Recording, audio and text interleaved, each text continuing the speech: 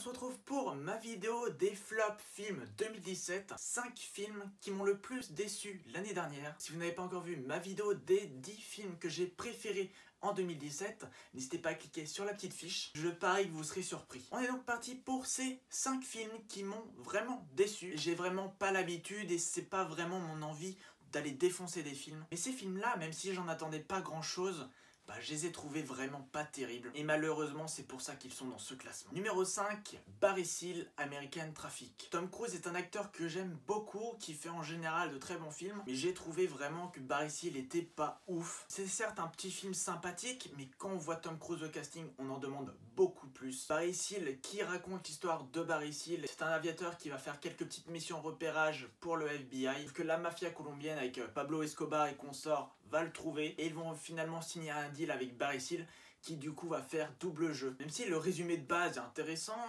je trouve que la mise en forme est pas exceptionnelle. Ça aurait mérité beaucoup mieux, mais encore, c'est moins pire que les 4 prochains films que je vais vous citer. Quatrième position, Alien Covenant. Avant de voir celui-là, je n'avais vu aucun film Alien. Parce que, je vous le rappelle, tout ce qui va être horreur, thriller vraiment hyper prenant, c'est pas du tout mon kiff. J'ai pas du tout envie de voir un film pour me faire peur. Mais j'ai trouvé vraiment que Alien Covenant était vraiment insipide. Il était vraiment bateau, il y a plein de scènes clichés. N'étant pas fan de la licence, j'ai juste trouvé que le film était moyen. Mais en tout cas qu'il aurait mérité beaucoup mieux. Numéro 3, Jigsaw. Là aussi, Jigsaw est le premier film de la saga Saw que j'ai vu au cinéma, que j'ai même vu tout court. Et pour une entrée dans cette saga d'horreur, et eh bah c'était pas ouf non plus, c'était vraiment passable. C'est un film qui à la base doit vraiment effrayer, doit vraiment déstabiliser. Et moi qui suis hyper réfractaire à la vue du sang, à tel point que la chirurgie dans Grey's Anatomy je peux pas du tout voir, bah vraiment, ça faisait pas peur c'était pas vraiment effrayant. Le scénario était pas top. Il y avait pas grand chose de bien dans ce Jigsaw malheureusement. Donc moi qui allais voir ce film en me disant allez je me prends en main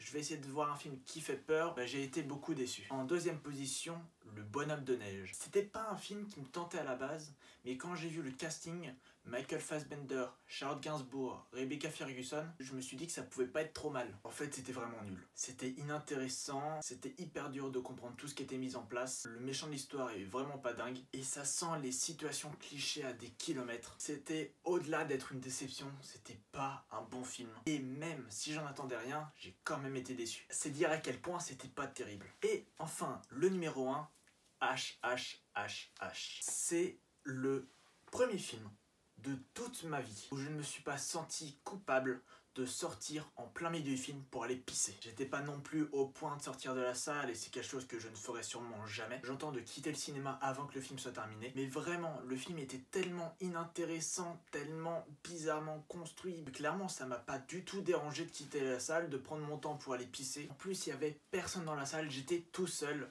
Donc autant vous dire que c'était comme si j'étais dans mon canapé, sauf que l'histoire de base était pas intéressante. Jason Clark en méchant, on a déjà vu, mais là en méchant nazi, ça pouvait être intéressant. Il y a Rosamund Pike aussi, donc le casting est quand même bon. C'est clairement pas un casting sorti nulle part. Ce qu'ils ont fait ce film, c'était presque deux heures éprouvantes. Donc ça me fait pas du tout plaisir hein, de démonter un film, mais H, H, H, H, bah c'était pas ouf, ouf, ouf, ouf. Pas du tout, du tout, du tout, du tout. Voilà pourquoi il est à cette première position, parce que c'est clairement un flop, flop, flop, flop. Donc voilà pour cette vidéo flop de l'année 2017. Je ne sais pas ce que vous en pensez, n'hésitez pas à me le dire dans les commentaires, n'hésitez pas à liker la vidéo également si elle vous a plu. Si elle ne vous a pas plu, je vous demanderai quand même de dire dans les commentaires pourquoi c'est plus constructif pour moi. En tout cas, on se retrouve très vite pour de nouvelles vidéos sur la chaîne. Mais en attendant, portez-vous bien. Ciao